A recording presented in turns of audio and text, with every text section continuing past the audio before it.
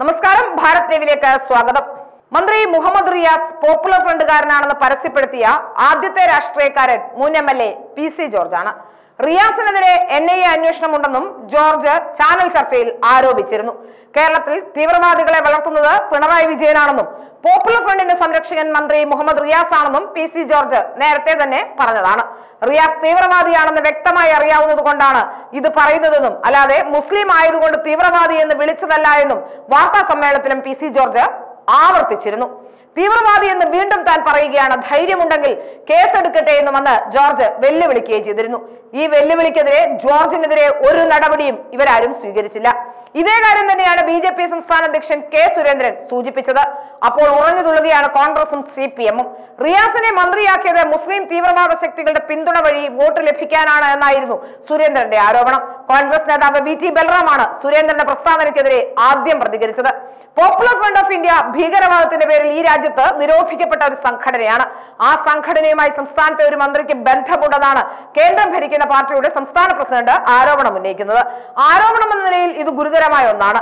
ആരോപണ വിധേയനായ വ്യക്തിക്ക് മാത്രമല്ല സംസ്ഥാന ഭരണകൂടത്തിന്റെ തന്നെ വിശ്വാസ്യതയ്ക്ക് നേരെയുണ്ടായ വെല്ലുവിളിയാണിത്. കാരണം ക്രമസമാധാന പാലനം ഒരു സംസ്ഥാനത്തിന്റെ വിഷയമാണ്.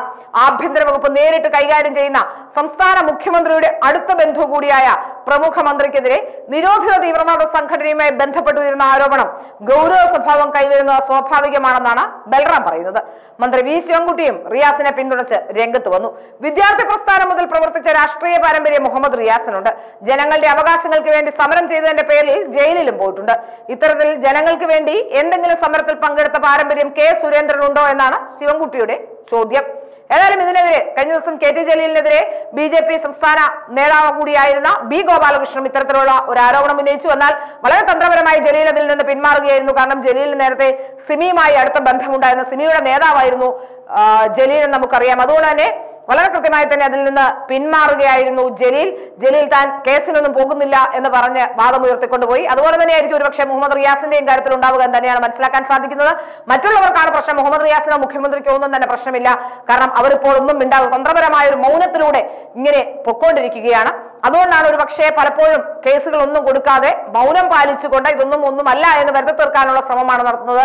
കാരണം ഏതെങ്കിലും തരത്തിൽ കേസിന് പോയാൽ പലപ്പോഴും പിടിക്കപ്പെടുമെന്നും അല്ലെങ്കിൽ അതിന്റെ അന്വേഷണം കൃത്യമായി ഉണ്ടായാൽ പ്രശ്നമാകുമെന്ന് ഇവർക്കറിയാം. അതുകൊണ്ട് തന്നെയാണ് ഇവരൊക്കെ തന്ത്രപരമായ മൗനത്തിലൂടെ കാര്യങ്ങൾ കമ്മ്യൂണിക്കേറ്റ് ചെയ്തുകൊണ്ട് മുമ്പോട്ട് പോകുന്നതെന്നാണ് മനസ്സിലാക്കാൻ സാധിക്കുന്നത്.